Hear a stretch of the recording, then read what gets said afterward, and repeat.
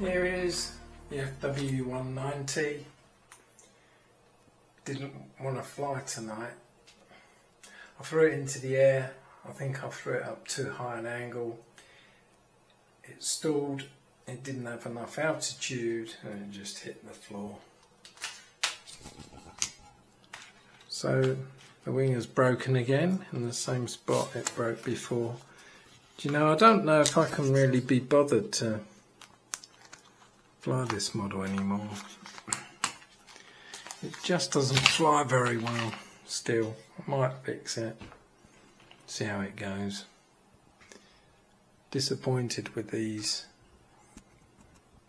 these particular make of 400mm warbirds. The normal warbirds, the Volan Texonic RC are fine. Recommend those.